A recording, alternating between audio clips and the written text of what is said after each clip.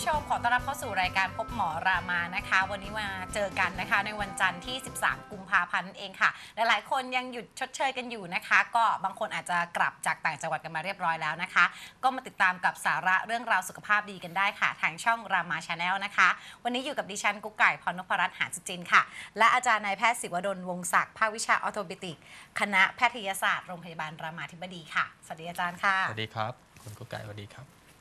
เอาล่ะวันนี้เนี่ยเรามีหลากหลายเรื่องราวมาครับฝากกันเลยนะคะ ก็ไม่ว่าจะเป็นทั้งเรื่องของการดูแล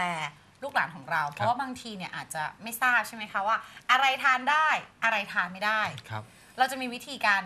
บอกยังไงได้บ้างนะคะอาจารย์จริงๆต้องต้องต้องต้องเข้าไปค่อนดูแล ข้างกว้างใช่ครับ เราก็ต้องไปดูแลลูกหลานเราอย่างใกล้ชิดอืม นะครับนะคะอะเดี๋ยววันนี้มาดูกันนะคะ แล้วก็รวมไปถึงค่ะกับการเลือกนะคะอาหารสำหรับการถวายแด่พระสงฆ์นั่นเองนะคะ ว่าเราจะมีวิธีการเลือกยังไงนะคะ เดี๋ยวเรามาติดตามกันเลยค่ะ ในช่วงของรามาอัปเดตค่ะ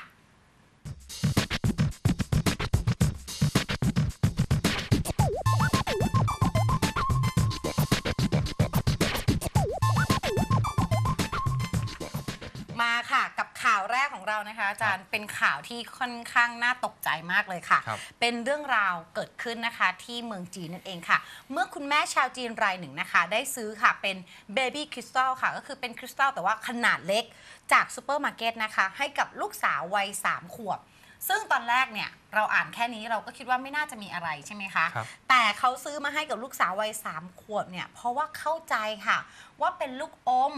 ที่สามารถทานได้ ขึ้นชื่อว่าคริสตัลเราก็คือ เราก็คิดว่าจะต้องเอาไว้มาประดับ หรือทำเป็นเอ่อเครื่องประดับต่างๆ ใช่ไหมคะ แต่เมื่อเธอกลับมาถึงบ้านนะคะ ก็นำไอตัวคริสตัลเนี่ยแหละ เอามาให้กับลูกนะคะ แล้วก็ให้สามีของเธอเองค่ะ ซึ่งมาทราบทีหลังนะคะว่าเป็นเบบี้คริสตัลค่ะ ต้องบอกเลยนะคะว่าหนูน้อยคนนี้เนี่ยทานไปนะคะ ประมาณ 280 เม็ดค่ะ ก็เลยต้องเร่งนะคะที่จะนำตัวส่งโรงพยาบาลค่ะ โดยผลจากการเอ็กซเรย์นะคะ เผยให้เห็นว่าในช่องท้องของหนูน้อยเนี่ย เต็มไปด้วยเบบี้คริสตัลค่ะ มากมายนะคะ แต่ยังโชคดีค่ะ ที่ยังไม่ทันได้ดูดน้ำแล้วก็ขยายตัวในท้องนั่นเองนะคะ หนูน้อยจึงปลอดภัยค่ะ ทั้งนี้นะคะทางแพทย์ได้ให้ยาช่วยการขับออกจากร่างกายนะคะ แล้วก็จะขับออกมาจนหมดนะคะ ภายใน 24 ชั่วโมงค่ะ ซึ่งหนูน้อยคนนี้นะคะ อายุเพียงแค่ 3 ขวบเท่านั้นค่ะ ครับ ที่รับประทานเข้าไป แต่ตอนทานเข้าไปเนี่ยมันน่าจะรับรู้รสได้หรือเปล่าคะว่ามันแข็งๆหน่อย เคี้ยวไม่ได้ด้วย คงบอกยากนะครับ มันค่ะ คงนุ่มๆอะครับ ค่ะ เด็กๆก็เลย เลยกลืนดูสีสันมันถ้าให้เป็นผม ก็เหมือนผมอม ผมก็ไม่คิดว่ามัน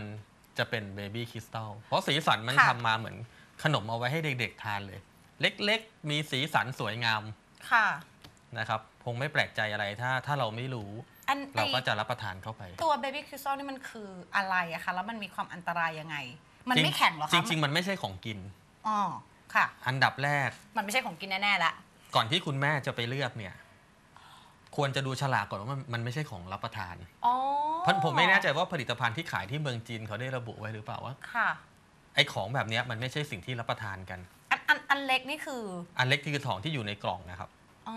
มันเป็นโพลีอะคริลามายแล้วก็เป็นสารไวนิลอะซิเตต พอมาขยายตัวที่มันดูดซึมน้ำแล้วมันจะพองขึ้นมาแบบนี้ พอใส่น้ำโดนน้ำมันขยายตัวขึ้นมา มันเหมือนไข่มุกเหมือนกันนะคะ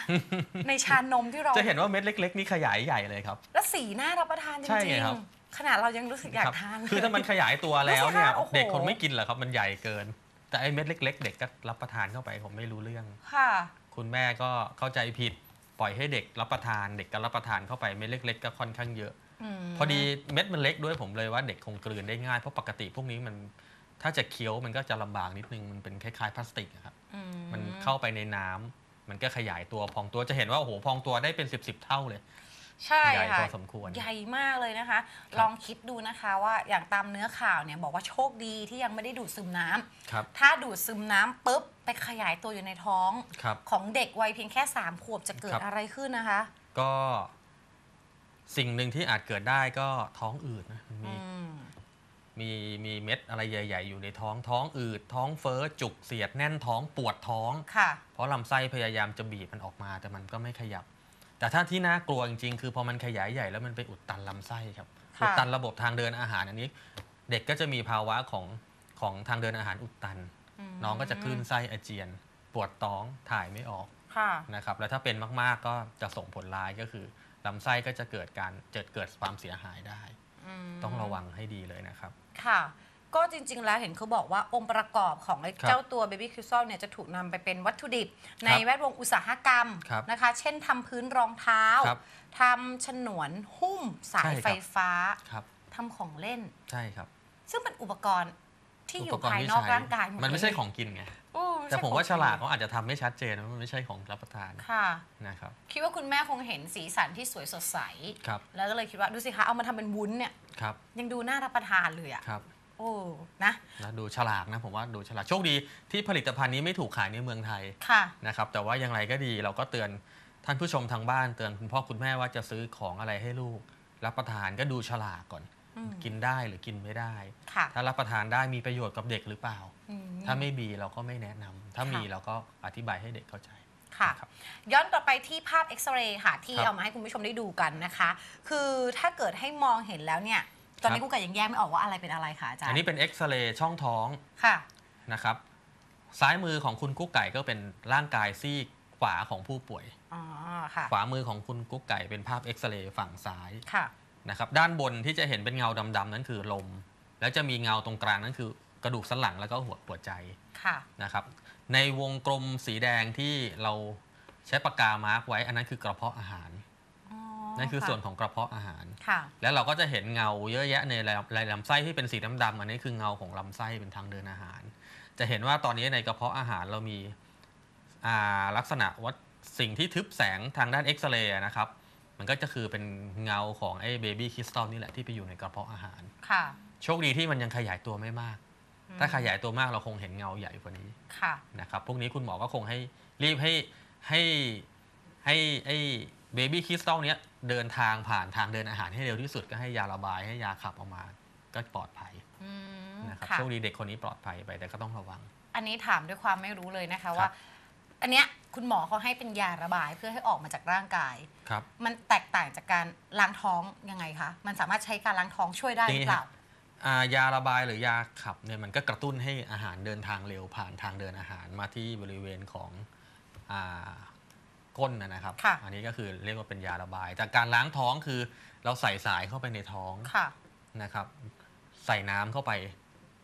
ไปไปผสมให้มันเจือจาง แล้วก็เราก็ดูดออกมาทางสาย อืม เข้าทางเข้าทางปากหรือจมูก แล้วเราก็ดูดออกมาทางปากหรือจมูกอันนี้ค่ะ คือการล้างท้อง ค่ะไม่ให้มันผ่านทางเดินอาหาร พวกนั้นเราเอาไว้ใช้ในพวกสารเคมี อ๋อเพราะว่ายิ่งถ้ามันผ่านทางเดินอาหารเยอะเท่าไหร่มันก็ทำลายมากเท่านั้น ค่ะ รีบเอาออกมาทางปากเหมือนเดิม อืมนะครับก็ขึ้นอยู่กับดุลพินิจของ ตัวคุณหมอด้วย แล้วก็ครับรวมไปถึงสิ่งที่เข้าไปในปากของเราครับด้วยนั่นเองนะคะ เข้าไปในร่างกายของเราว่าจะต้องเลือกใช้วิธีไหนนะคะครับซึ่งก็ตอนนี้คิดว่าน่าจะปลอดภัยดีเรียบร้อยแล้วนะคะ แล้วก็อย่างที่อาจารย์บอกนะคะว่า ย้ำเลยค่ะสำหรับคุณพ่อคุณแม่นะคะ ที่จะเลือกอะไรให้ลูกหลานตัวเองรับประทานเนี่ยเราอาจจะต้องดูสักนิดนึงว่ามันเป็นสิ่งที่มีประโยชน์หรือเปล่า หรือว่าถ้าเกิดเป็นขนมจริง ๆ แล้วเนี่ยมันเป็นขนมที่ทำมาจากอะไรมีประโยชน์มากน้อยแค่ไหนด้วยนะคะ เพื่อไม่ให้เกิดเหตุการณ์แบบนี้นั่นเองนะคะ เรามาต่อกันอีกหนึ่งเรื่องละกันนะคะ ก็เป็นหนึ่งเรื่องราวนะคะที่มีการแชร์กันค่ะ ซึ่ง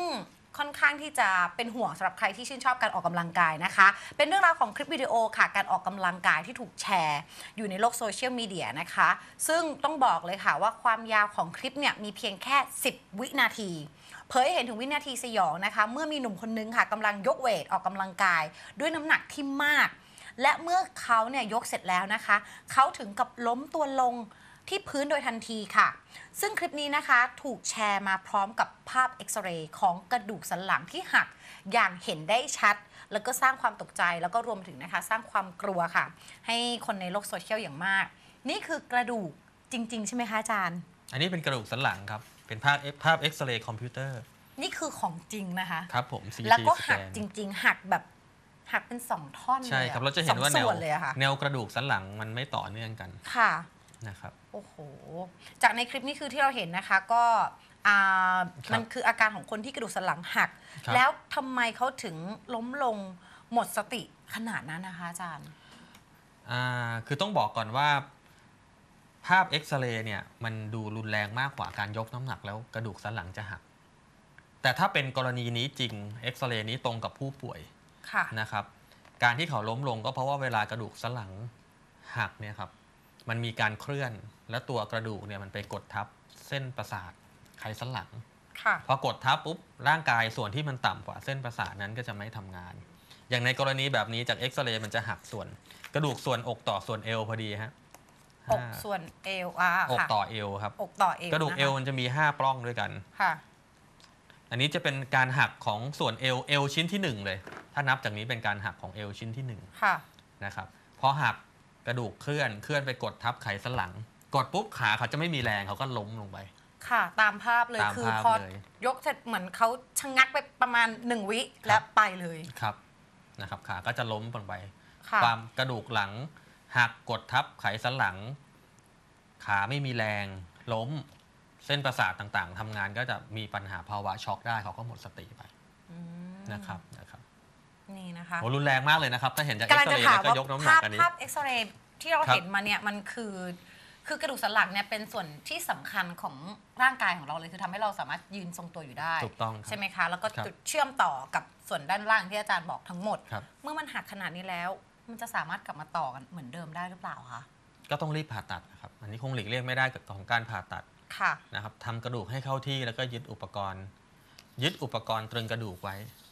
หลังนี่ผ่าตัดได้ครับ แต่ว่าไขสันหลังจะกลับมาทำงานเป็นปกติหรือเปล่า พวกนี้ต้องดูอาการกันไปอืม6เดือน 9 เดือนเต็มที่ที่ 9 เดือนค่ะนะครับหมายถึงเส้นประสาทที่ถูกกระทบเนี่ยนะครับ อาจารย์คะกว่าที่มันจะสามารถหักได้ขนาดเนี้ยครับคือแปลว่ากระดูกสันหลังเขาไม่แข็งแรงอยู่แล้วหนึ่งครับหรือว่าถ้าออกกำลังกายของเขามันทำให้สามารถทำให้กระดูกสันหลังหักได้เลยโดยเฉียบพลันเป็นหได้รือทั้ว่างสองอย่าง เกิดจากอะไรครับเพราะเป็นว่าได้ทั้งสองมันอย่างหักอย่างรุนแรงขนาดเนี้ย อ่าการตอบคำถามนี้ได้ต้องการข้อมูลเพิ่มเติม อืมแต่ส่วนค่ะใหญ่อย่างที่ผมบอกยกน้ำหนักอย่างเดียว กระดูกมัน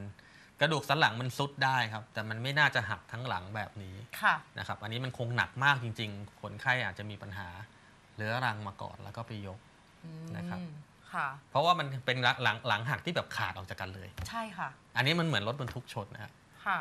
แรงๆชนมันถึงจะเป็นแบบนี้ ค่ะผมถึงได้บอกว่าถ้าอันนี้เป็นเอ็กซเรย์ของคนไข้ที่ยกน้ำหนักจริง มันถือว่ารุนแรงมากอืมนะครับ ก็สำหรับการรักษานี่อย่างที่อาจารย์บอกนะคะว่า ครับ ก็สามารถรักษาได้แต่ว่าการที่จะกลับมาเป็นเหมือนเดิมหรือเปล่า ครับ ต้องรอดูต่อไปแล้วก็วินิจฉัยต่อไปตัวกระดูกเนี่ยหกเดือนมันก็ติดครับ ค่ะ แต่ว่าเส้นประสาทหรือไขสันหลังเวลามันกระทบกระเทือนทีหนึ่งบางทีมันไม่กลับมา แต่ถ้าคนที่กลับมามันจะกลับมาอย่างช้าๆ 6 เดือนถึง 9 เดือนนะ ครับค่ะ แบบนี้สำหรับคนหลาย ๆ คนค่ะครับไม่ว่าจะเป็นทั้งหนุ่ม ๆ ที่ชื่นชอบการออกกำลังกายการยกเวทหรือแม้แต่กระทั่งสาว ครับ ๆ นะคะ จริง ๆ แล้วเราควรที่จะดูแลดูแลดูแลตัวเองยังไงบ้างคะ คือถ้าเกิดจะออกออกกำลังกายเนี่ยอย่างแรกถ้าน้ำหนักเยอะจนเกินไป ครับ โอ้โห ไม่ดีแน่นอนถ้าไม่ดีแน่นอน ถ้าค่ะเกินเกินกำลังของเรายังไงมันก็ไม่ดีค่ะ นะครับ หรือว่าถ้าถ้าเล่นถ้าเล่นกิจกรรมแล้วเกินกำลังของเรา คงต้องมีคนคอยช่วยช่วยประคองไม่ให้เกิดการบาดเจ็บเราถึงต้องมีเทรนเนอร์ไงฮะค่ะ เทรนเนอร์เนี่ยช่วยประคับประคอง ไม่ให้เราบาดเจ็บจากการเล่น ถ้าเราจะไม่ไหวเทรนเนอร์สิท่านก็จะมาช่วยช่วยช่วยเราไม่ให้เราได้รับการบาดเจ็บอืม นะครับ เล่นต้องมี warm มีการ warm up ค่ะ warm up แล้วเล่นในน้ำหนักที่เราเห็นว่าเหมาะสม ถ้าเล่นมากเกินไปมีใครสักคนหนึ่งมาอยู่ข้างๆ ช่วยดูแล น่าจะปลอดภัยกว่า อืม นะครับจากภาพที่เรานำมาฝากคุณผู้ชมเนี่ยคือเป็นภาพที่อาจจะด้วยการที่ร่างกายอาจจะไม่พร้อมสำหรับการออกกำลังกาย เราทราบกันดีอยู่แล้วนะคะ ว่าการออกกำลังกายเป็นสิ่งที่ดีค่ะ แต่ถ้าเกิดครับร่างกายเรามันไม่พร้อมจนเกินไป แค่พักผ่อนน้อย รับประทานอาหารมาน้อยครับและไปหักโหมในการที่จะออกกำลังกายการเข้าฟิตเนสต่างๆเนี่ยนะคะ ก็อาจจะทำให้คุณเป็นตามในภาพได้เช่นเดียวกันนะคะ อันนี้ต้องฝากไว้เลยนะคะสำหรับเรื่องของการออกกำลังกายค่ะไม่ว่าจะเป็นทั้งผู้หญิงผู้ชาย หรือแม้ กระทั่งการยกของครับ ก็เป็นสิ่งที่สำคัญด้วยเหมือนกัน ครับ อาจจะทำให้กระดูกสันหลังของเราเนี่ยมันผิดรูปไปได้ด้วยเช่นเดียวกันนะคะ ฝากไว้แล้วกันค่ะโอ้โหเป็นภาพที่ค่อนข้างที่จะ ตกใจเหมือนกันนะคะ ที่ได้เห็นว่ามันขาดเป็นสองส่วนแบบนี้นะคะอะฝากไว้แล้วกันนะคะ เดี๋ยวตอนนี้เราไปพักกันก่อนค่ะ เดี๋ยวช่วงหน้ากลับมานะคะ มีเรื่องราวของ Big Story รออยู่ค่ะ